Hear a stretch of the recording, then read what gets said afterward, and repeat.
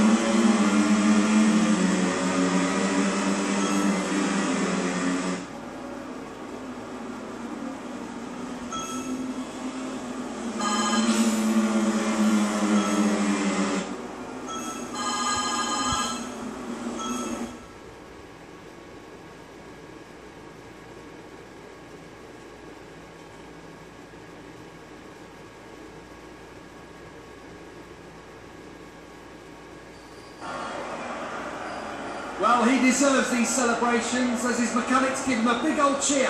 He managed to dictate the race and absolutely no one could keep up with his pace.